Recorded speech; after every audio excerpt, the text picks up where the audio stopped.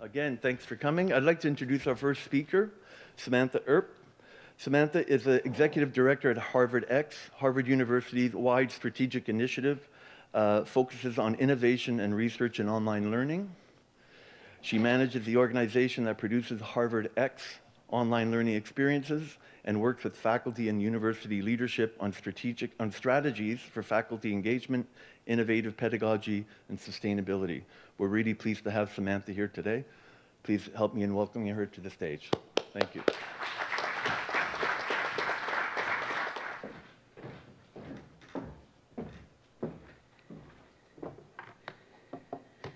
Thank you very much. It is a pleasure to be here. And before we get started, I would just like to um, attempt to say that uh, dans l'esprit bilingue de ce forum, ça me fait très plaisir d'être ici avec vous. Et let's see what happens, all right? a former French teacher always enjoys a chance to um, revisit her former occupation. So, uh, I am here, as um, Richard kindly said, representing Harvard X which is a relatively young university initiative at Harvard and relatively unique in that it is a university wide initiative that was born um, not quite two and a half years ago in combination with the announcement and formation of edX, which is a partnership between MIT and Harvard and a growing number of institutions around the world to provide open source platform and services for open and online education. And I will be speaking primarily about the Harvard X portion of this work, um, but it's possible I might also be able to answer questions about edX as it pertains to Harvard's participation in, in edX. And so just a little bit of background. Um, in fall of 2011, Harvard was celebrating its 375th anniversary. And a group of senior faculty and university leaders were imagining what education would look like, not only at Harvard, but around the world in, um, when Harvard would reach its 400th anniversary. So there were a number of conversations about what the future might look like in the Harvard context. And one of the things that was um, a unanimous view was that Harvard needed to engage much more deeply in um, learning and in what the future of learning like might look like, not only for the students at Harvard, but for the way we connect around the world. So that led to a couple of university initiatives. Um, the first one that was announced was the Harvard Initiative for Learning and Teaching, which we call HILT. And that also simultaneously led to conversations with MIT, which led to the formation of edX and to um, what is now an organization called Harvard X and the initiative that um, brings online courses to the world. So Harvard X has um, three goals, and let's, there we go. So Harvard X has three goals, and I will just talk you through them. And um, I'm often asked, and we are often asked, which one is the primary goal? And the difficult answer is that they are all the primary goal. And so I want to start with that frame a little bit, um, and because you'll understand why as I as I talk through what we've been doing. So um, our first goal is one that I'm sure is near and dear to the hearts of all of you who are here, which is um, global access to education, which we refer to in our shorthand way as REACH.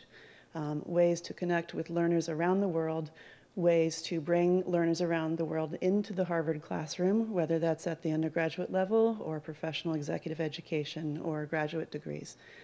And so that's most easily uh, manifested in the courses and, and learning modules that are now available to the world through the edX platform for the most part. Our second um, major goal is research, using the opportunity that we have now through the courses and modules that we have uh, made available.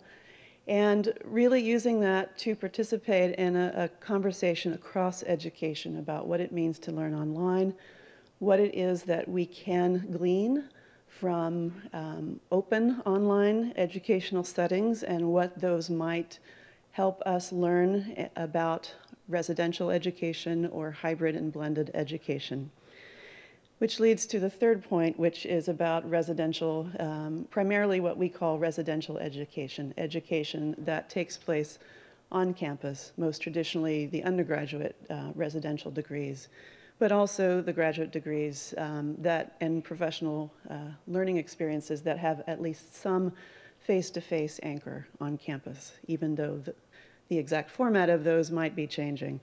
And then the principles that we have that drive our governance of this and the way we approach this across these, three goals is that we want to focus our efforts on activities that have impact, that have uh, a certain level of quality, that represent the breadth of the disciplines and the intellectual engagement and innovation that um, resides in the schools and in the faculty and in the students, and at the level of rigor that um, we think of as being associated with a Harvard education. And in terms of how we um, operationalize that, we focus on experimentation, we spoke, focus on iteration, um, not waiting until we have the perfect thing, but trying something and see what we can learn from it and move forward. Recirculation back to campus and back to um, projects that we work on. And most especially as, as sort of um, an artifact of Harvard culture, collaboration. Harvard is an institution that is made up of multiple schools which have a high degree of independence. And one of the challenges and opportunities of a university-wide initiative is how to make those very decentralized schools and the people who work within them and the richness of opportunity that they represent connect together and coordinate together in an ongoing way.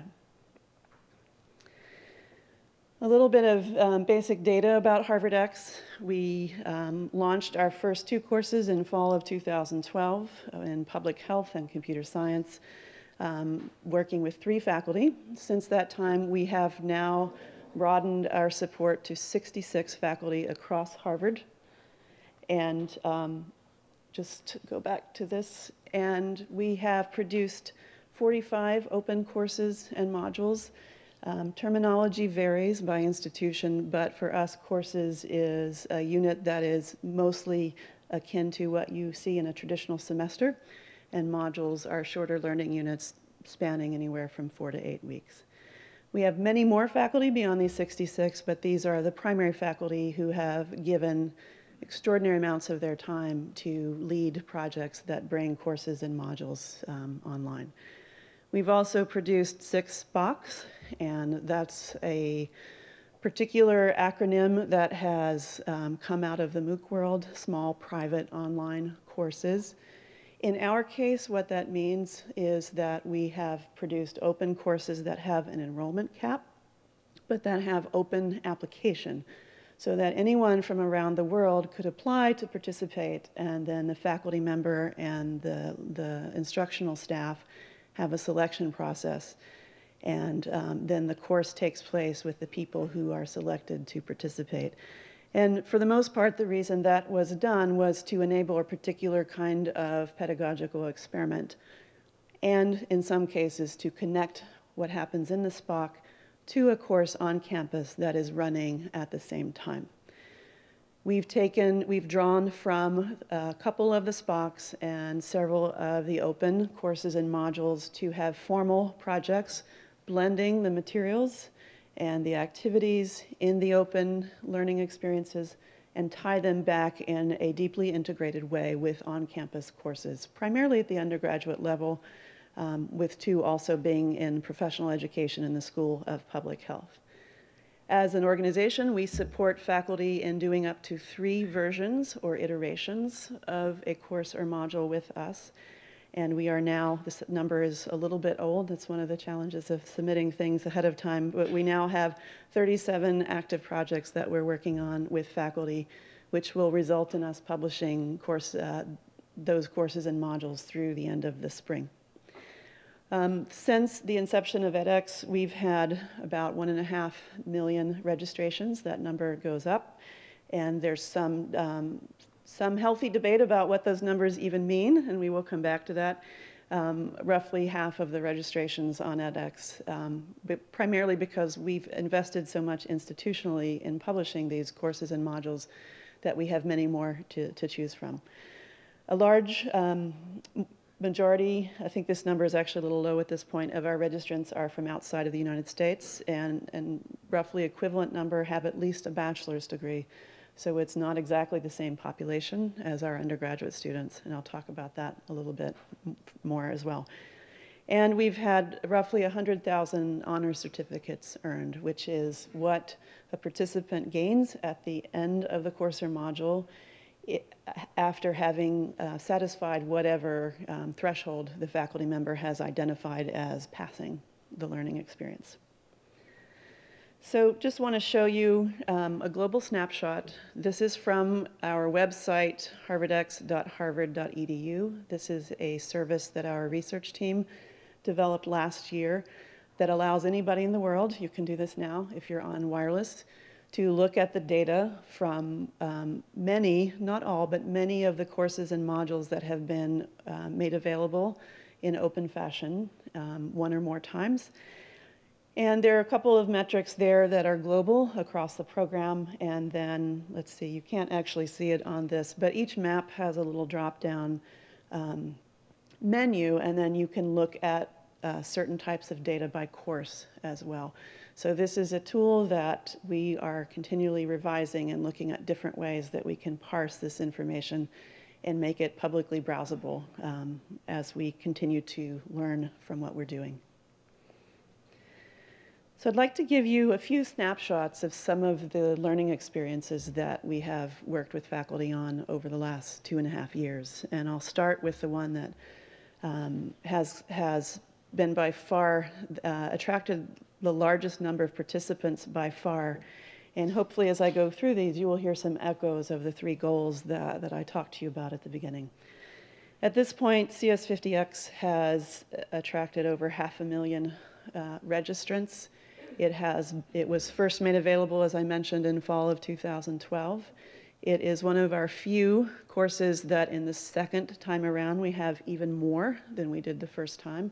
Um, the trend is generally that the enrollment drops anywhere from 30 to 50 percent.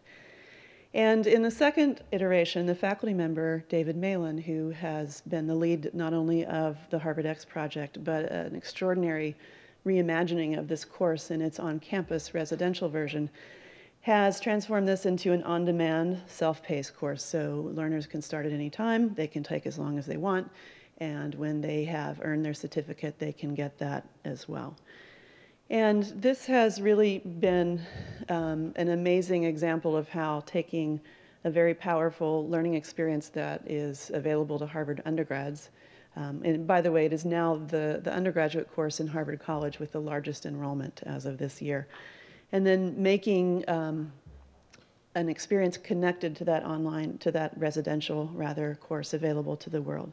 It's also given us um, opportunities to think about how we broaden the reach and so eh, this year, um, Professor Malan and his team have been collaborating with a nonprofit called Launch Code, which provides uh, job training to um, students and people who are out of jobs in communities around the United States using this curriculum as a way for them to gain the skills that, that, that they need.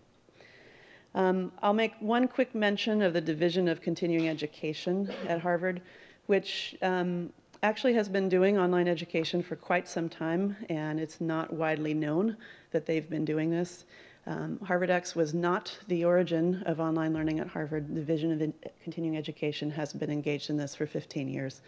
And so, what we are trying to do is partner with them and um, learn how we can connect what we're doing in the open space with what is also happening in continuing education space, both for credit and, and non credit options. Um, moving on to a course that has not been online prior to its existence in Harvard X, Global Health, which uh, brings a biosocial perspective to many issues around global health. This has been an opportunity to bring the case method into um, an open um, online learning experience and see what that looks like when you have um, thousands of people trying to engage what, it, what one of the best outcomes, which is one I'm sure has been true for many of your initiatives, is groups of learners, often professionals and around the world, using these learning experiences and the materials in them as the basis for local study groups and um, for local professional development activities. Innovation in Healthcare was our first course involving a faculty member from the Harvard Business School, um, Reggie Herzlinger. And this course actually had two modes. It had a MOOC and it had a SPOC. And the SPOC was application, and those who were accepted from all over the world into the SPOC were able to participate in a coached activity developing a business plan. And we worked with a local startup to match teams together, and then the professor brought in venture capitalists to judge the competition. So it's an example of how we're looking at ways to not only put um, our courses and modules online broadly, but have connecting opportunities that allow us to further engage with learners. Copyright X, um, which is led by Professor Terry Fisher of the Harvard Law School, was really um, one of our earliest opportunities to think beyond the traditional MOOC and I should say, and I'm sure many of you will agree, that MOOC is a, a word that is a blessing and a curse. um, it has gotten lots of attention. It has brought a lot of good conversation to a field that is already quite um, mature and has a lot of research behind it. And when we were first talking um, at Harvard, we already knew that we didn't want to limit our sights to MOOCs, and Professor Fisher was the first faculty member who um, took a slightly different path to implementing an open course. This is a SPOC. It was first offered in the spring of 2013. It was offered again in spring of 2014, and it will have its final iteration with HarvardX this coming spring. And this used the method I described, which was to have open application from participants around the world. The teaching staff selected 500 the first time around, and then they ran this um, open course concurrently with the Harvard Law School seminar. And they used um, live events for the Harvard Law School seminar to invite in the participants in the MOOC several times during the semester and have a dialogue that engaged not only learners at Harvard, but the learners around the world. And um, in doing so, really enrich the perspectives and the, the intellectual contributions around the topics that were being studied in, in the particular field of law focusing on copyright. In the second iteration, um, having found that that was a great success, Professor Fisher and his team then identified satellites all around the world on four continents that um, held simultaneous study groups. There were people who volunteered to be the local leaders and to stay in touch with Professor Fisher and his team, and they did the curriculum together at the same time, and people who completed that curriculum in the satellite locations were also awarded a Harvard X certificate at the end. And that is something that Professor Fisher and the law school plan to continue as an ongoing activity. Um, just two more briefly. Um, Poetry X is a fantastic example of our aspirations in the disciplines that we bring to the online learning space. Um, it's a little bit of a cliche that most of the online, in, in the popular imagination, shall I say quickly, um, that the, the most effective online education is in computer science and things that can be automated. And that's something that we certainly don't believe, and I imagine most of you do not either. But we needed to begin experimentation on what could we actually do in humanities courses in this kind of form. And not just in the form of bringing content online, but having learners engage in ways that are most effective in um, interpretive situations and um, humanities classrooms in particular. So Professor Elisa New was um, a faculty member we worked with on developing smaller modules around um, epochs in the history of American poetry. And she um, launched two modules between um, six and eight weeks, and she was really looking at two strategies to find out how to, to engage learners further beyond um, traditional discussion boards and, and video. And so we worked with her and developed a tool that would allow learners to contribute annotations for their own use and for um, viewing by others in the course and using those as a basis for discussion. And also, um, we hope in the future as a way to do some data mining that allows us to understand what topics the students are connecting in and what questions they might have. And we've um, been using that tool as well in other humanities courses and expect to do so further in the residential courses that are similar to this, and we hope in, in future Harvard X courses as well. This is also one of our earliest examples of um, starting with the kernel of what we have with the Harvard X module and looking for partnerships of how the learning experience or the content associated with the learning experience can, can be useful in other settings. So as many of you are doing as well, this has been the basis for a partnership for developing high school curricula, working within what in the United States are called uh, Common Core standards and in a partnership with our Graduate School of Education on how um, Professor New and, and her colleagues can train high school teachers on the use of the materials and the curricula that have been provided through Poetry X. And then the final example that I'll give of one of our um, projects is Justice X. Professor Michael Sandel actually was one of the early innovators at Harvard in taking um, his Harvard curriculum to a global audience. There was a partnership with the television station WGBH a few years back at Harvard where they came in and they filmed Professor Sandel in um, Sanders Theater. And um, sorry, I'm just realizing you're not caught up with me. Um, filmed him in Sanders Theater. Here we go. And um, you can see the picture here. This is an iconic Harvard classroom. It's, it's an auditorium, and it's um, everything you might expect with kind of an old, old institution, ivy-covered institution, lots of wood. It's where um, major addresses are held uh, when the president gives her annual address at Harvard. And uh, several of the largest courses at Harvard are held in this, in this auditorium. And Professor Sandel gives this course that has become quite well known um, at Harvard. And through the efforts of the partnership a few years back with WGBH, it became a broadcast that was available around the world and was a particular hit in, in Asia. And so that meant that we had a body of material and we had a professor with somewhat of an experience in um, open content.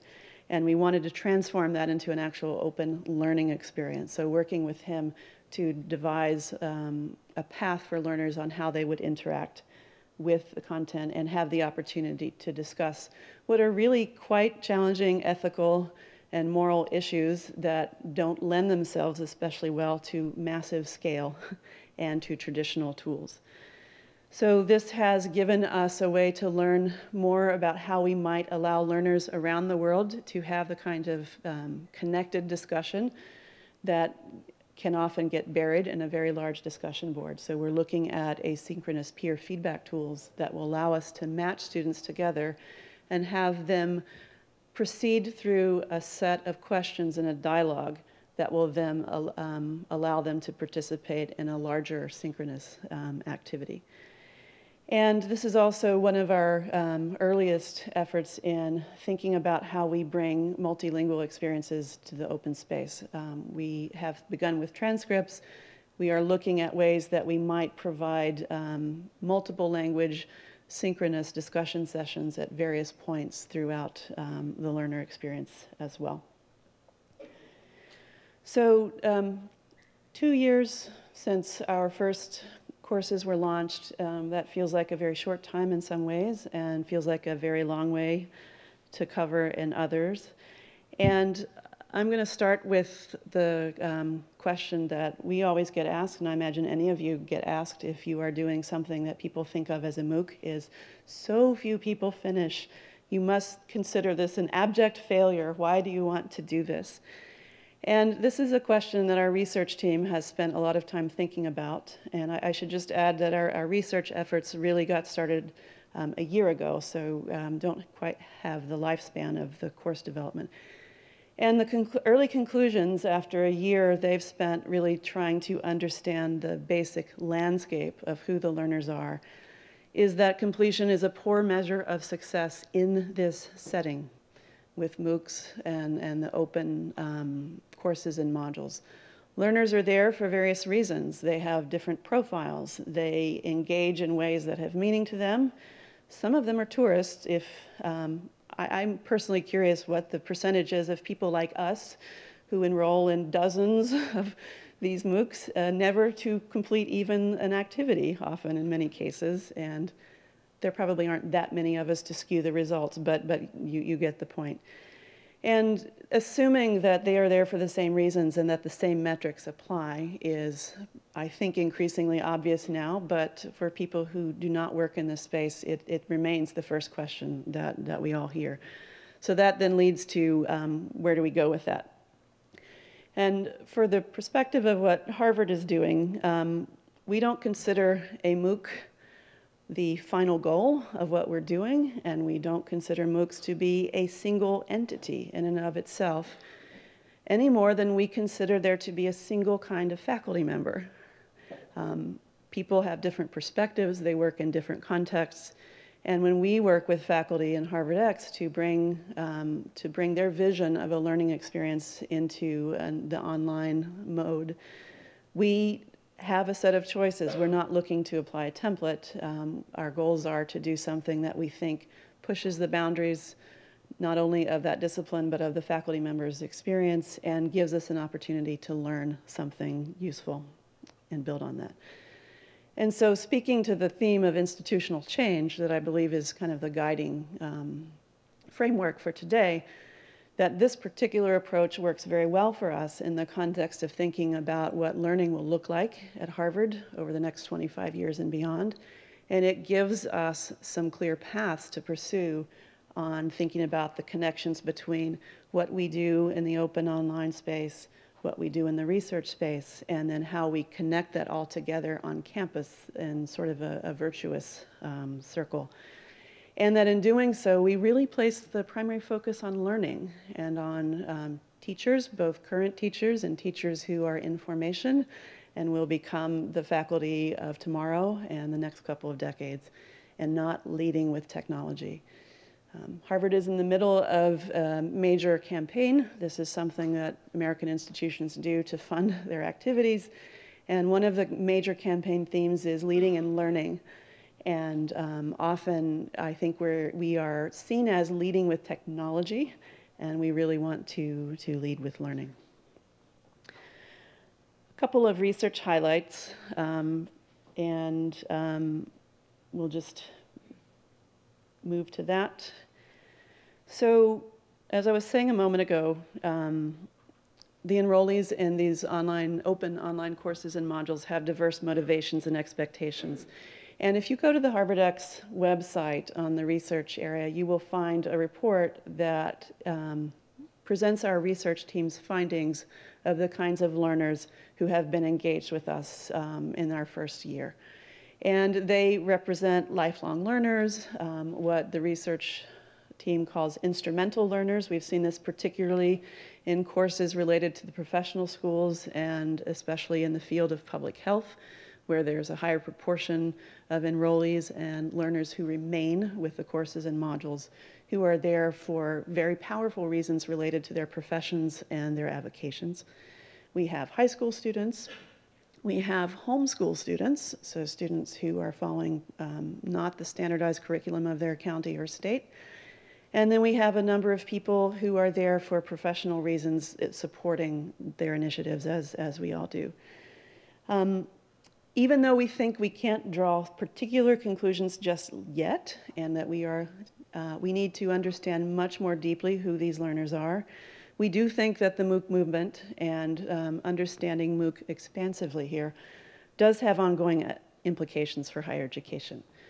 Um, our researchers are now focused um, on how we identify the learners within our MOOC populations who are um, akin to our residential learners and how can we study them as a population and learn what, um, from that, begin to frame some hypotheses about what this means for higher education.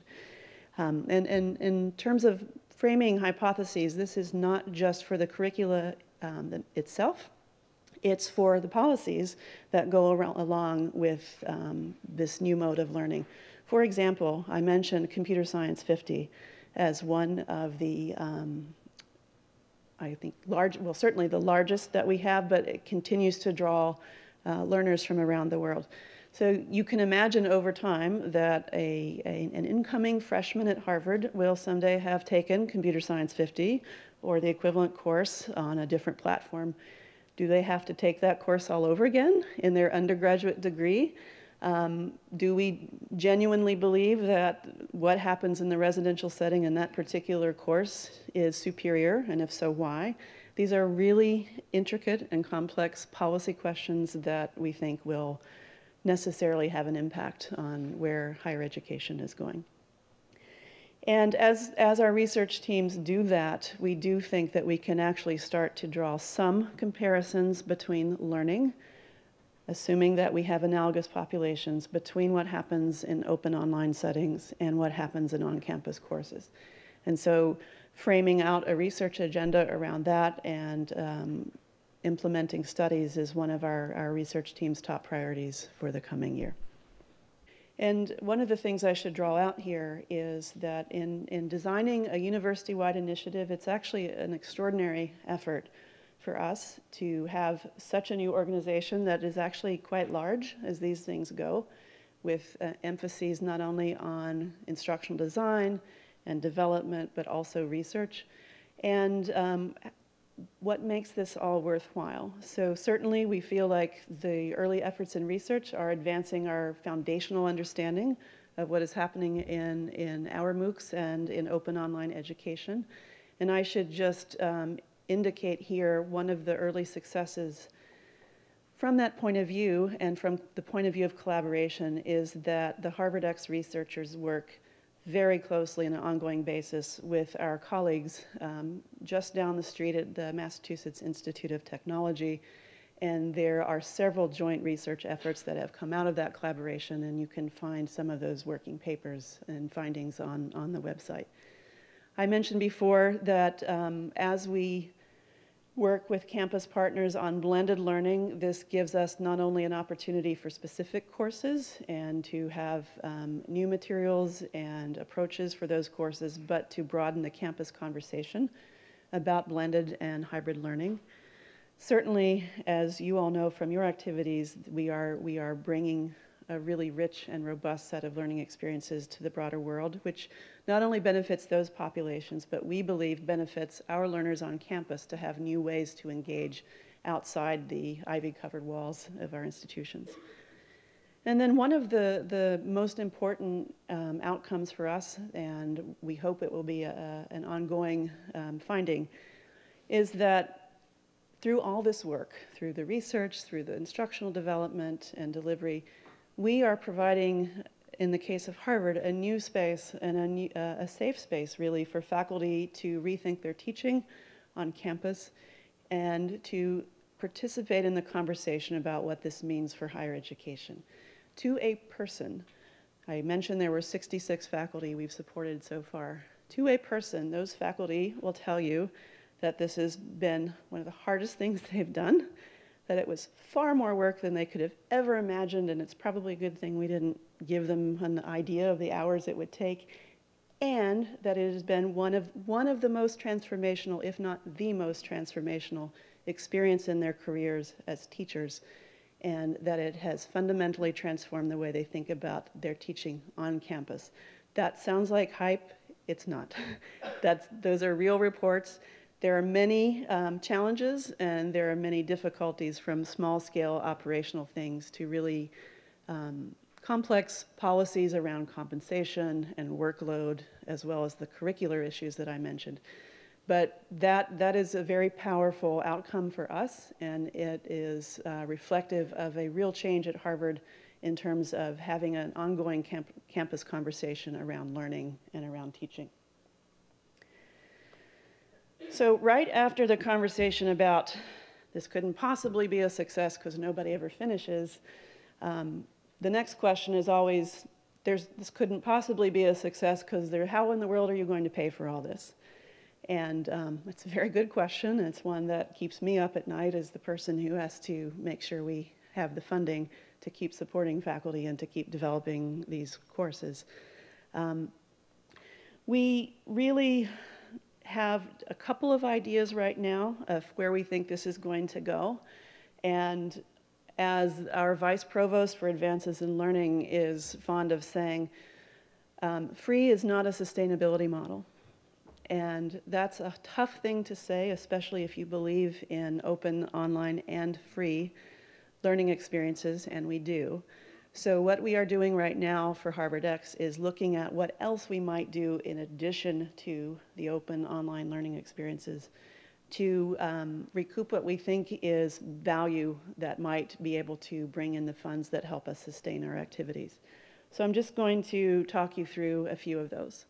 And for context, I want to recall my earlier comments about the Division of Continuing Education, which at Harvard, like at many other institutions, has long been a way for people to get access to education for a fee that is open.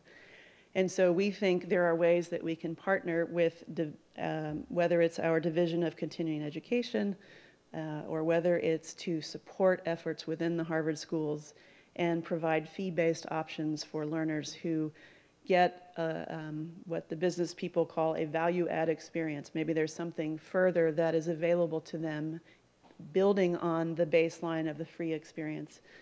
Um, one of the most powerful forms of value for students is credit. That's not what we're about at Harvard X, but there are partners within Harvard and elsewhere who might use our materials and our learning experiences as part of their existing credit programs. We are looking at ways to partner with other institutions, whether it's universities or community colleges, um, museums, and libraries, where they might license what we have produced, much in the way university libraries license um, academic journals, and in some cases, um, libraries of images and video, that this might be another way that we can um, bring in funds that will help sustain the strategic activities that we're supporting. And then finally, if you think of the marketplace very broadly, not just as something that gives you uh, a check at the end of each month, we're really bringing great value within the schools by providing the platform, the safe space that I mentioned earlier for experimentation, and then allowing the schools to decide how they want to bring those back and integrate them into their practices and to the other activities that they are also pursuing um, as they map their strategic future. And so all of those things together give us a hint of what we think we might be able to do, but with, with the caveat that this is early days. We all have a lot of the same questions. And um, by virtue of being a strategic initiative that's focused on learning, we're not a product company. So we don't start out identifying a niche in the market that we think we have a place we can sell. So there's, there's a, a creative tension there that we have to live in, thinking about what value we can um, gain from the free experiences that will allow us to sustain our work. I just want to um, make a couple of final remarks about Harvard students, and this is a somewhat cobbled together map of the schools around Harvard and um, you can see this is um, our part of Cambridge, that's the Charles River. The business school is across the river. The medical school and the School of Public Health are further into Boston um, in an area called Longwood. And then we have multiple schools around the Harvard Square area. And my apologies to the dental school. I, I, the dental school is attached to the medical school and often doesn't get represented separately here. But um, further on the, the thread of benefit to on campus, we are um, pushing very hard, working with the partners in the schools on taking the content and materials, focusing on blending, focusing on tools like the annotation tool that I mentioned. We're also working with our library on a new tool um, connected to a Mellon consortium out of Stanford on how very rich images can be integrated from library connections into open online learning experiences as well as on-campus courses. Um, looking ahead, we want to focus much more on mobility. Um, my phone is over there. I'm sure all of you have a mobile device. Most of our students are not going to carry these big giant things around, and we'd still love them to have access to what we're doing. And um, in the MOOC space, we haven't done much of that yet, although much of the rest of the higher ed sort of materials ecosystem has. Um, a lot more opportunities for um, asynchronous access for our on-campus students and thinking about ways we can remix what we already have. One of the courses I didn't um, tell you about is called Science and Cooking, and it's um, a very popular course in the general education curriculum in, the, in Harvard College where applied mathematician Michael Brenner works with world-renowned chefs to, to explain to students how physical and mathematical principles play out in the kitchen. And um, what we've done for that particular course is take some of the content that we developed for the MOOC and make it available for the students in ebook form so they can use it as reference as they're studying for that class and then connecting to the many lifelong, uh, lifelong learning opportunities that our alumni groups um, try to foster as a core part of what they do to um, keep our graduates connected to campus throughout their lives, really. So I'd like to pause with that and make sure we have just a little bit of time for questions, but thank you very much for your attention, and I look forward to the follow-up conversation.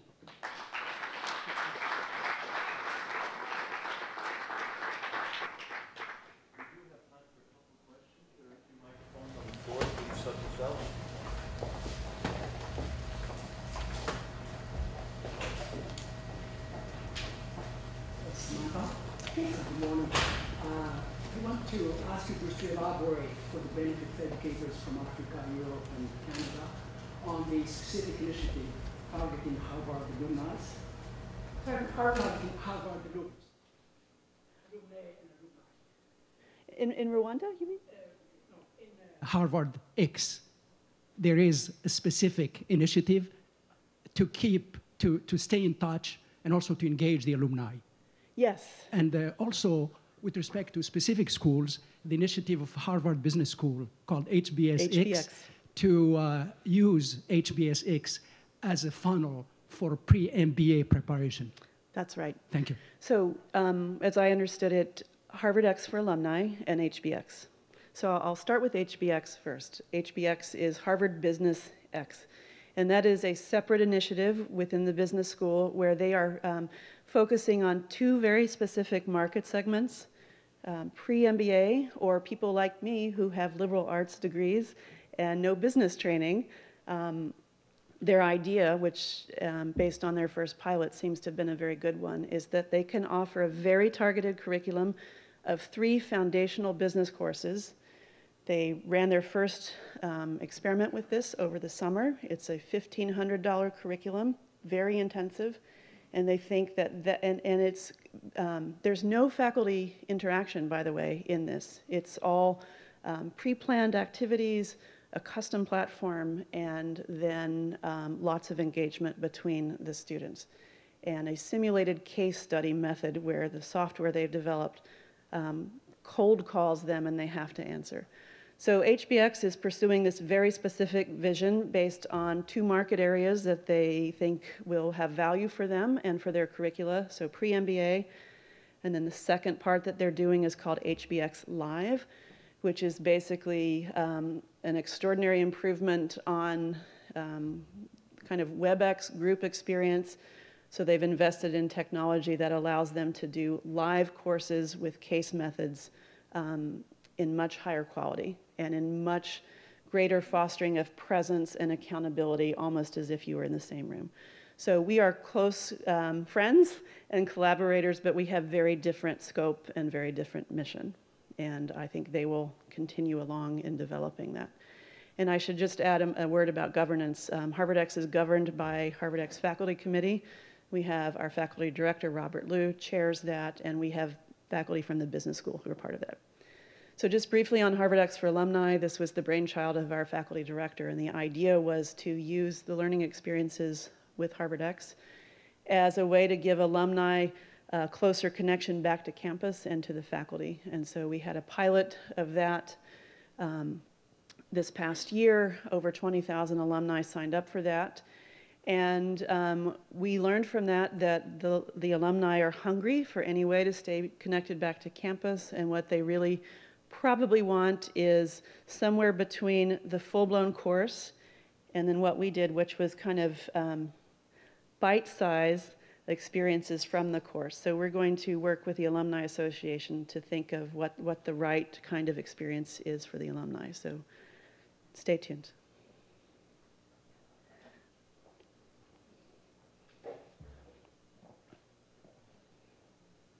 Hello, thank you very much for this really interesting presentation. I'm Bernadette Charlier from Switzerland. I have uh, University of Fribourg. Uh, I have one question, perhaps uh, with, with two sides. Sure. Uh, this question is related to the way you select the new project, the new MOOCs, Mhm. because you have said that you uh, the the economical uh, framework or model will e- will evolve, and uh, uh, there is no way to continue uh, in a real uh, free offer, and you you, you want to add other other forms uh, like sports or other forms of Mhm. uh, courses. So. Um, could you explain what will be your criteria to- to, select the new project if Absolutely. somebody uh, come to you and uh, want, Sure. want to, to realize a MOOC? Absolutely. And I, the reason I brought this slide back is because it is tied to um, what you see here. So the process is that um, faculty from anywhere around Harvard send us what we call a letter of interest. And we ask them to give us just an initial idea of what they have in mind. And the way we frame that is asking them to think about something that's particularly exciting in a course or a discipline that they want to try to um, pursue in the online setting or a teaching problem that they've had that they think maybe lends itself to this mode. And then our faculty director works with them initially to get the kernel of the idea. And then my team works with them to develop a proposal, and, which is then reviewed by the Harvard X Faculty Committee with members from all across Harvard. And the Harvard X Faculty Committee really looks at these criteria that you see here at a fairly high level. Um, what is the impact? Is this going to um, contribute something new in the online space and or is it going to bring something of great value back to the residential experience? Is it going, is there a possibility of actually doing the project? Is it feasible with the resources and tools that we have or that we could create in a reasonable time frame? Um, is it a repeat of something that we're already doing? Does it expand a body of disciplinary knowledge? And um, then that's, that's the high level impact and quality disciplinary breadth. And then we also look for experimentation. Um, what opportunities might we have in pursuing that project? And is this a project that can go through a, a life cycle with multiple iterations? And the reason that's important is because um, to quote our faculty director, we don't want to produce this just one time and then put it on the shelf and say, oh, that's so beautiful. I'm very glad we did that. We, we want to do that, yes, but then we want to learn from that and we want to apply what we've learned back into subsequent iterations. And that's a very real constraint for people's time, particularly very busy faculty. So those things come together. Um, the Harvard X team makes recommendations um, based on feasibility, and then the faculty committee um, has a discussion that is based on these criteria as well. I think we have time for one more question before the break. Thanks, Samantha, and thanks all from Ryerson and Toronto. Um, you talked briefly about the challenge of balancing a decentralized autonomous group of schools with a university-wide strategy. You mentioned, you didn't say tension, but you mentioned the notion of exploring partnerships between continuing ed and, and this initiative. Um, can you talk briefly about, obviously you can't talk about all but some of the strategies you put in place to deal with these challenges, including how you incentivize faculty, if, if you please. Are we out of time yet? No, I'm kidding. it's it's probably the, the core question of a strategic initiative, um, particularly at a highly decentralized place like Harvard, which is not unique in its decentralization. Um, I'd say there are at least two strategies. Um, certainly, the presence from the earliest moment of Harvard X's existence of faculty committees with representation and, and engaged representation from across the university has been the foundation of, of our success in spanning the, the different schools. And that is actually in the presence of two committees, the Harvard X Faculty Committee, which governs um, the selection of the projects and the basic operations of Harvard X, and an additional faculty committee, the Harvard X Research Committee, that governs um, the overall research priorities and advises on the particular um, studies and uh, collaborations that the research team should pursue. So that in itself, I think, is, is really the most essential part of this. Beyond that, um, sort of in the, in the administrative and executive ranks, there are also analogous groups across Harvard who come together regularly and talk about what our near-term strategy is, what some of the policy questions are that we have to attend to or not, as the case may be. And so without that, we would not have been able to be successful. And so, it, but it is a continuous effort. And there are um, issues, you talked about incentives, that have, may have different answers depending on the school. So Harvard X as a program and an organization does not offer any incentives to faculty. There's no compensation, there's no release. We leave that to the schools, which have their own strategies and their own approaches that are different um, depending on their particular situation. It's been, um, you can see from the numbers, it, it's been extraordinary the degree of faculty interest, even in the absence of formal incentives. And there are no signs yet that that interest is going to subside. But it is a key question, and now that we are two years old, it's a question that the faculty are increasingly bringing up, and those conversations are happening within schools.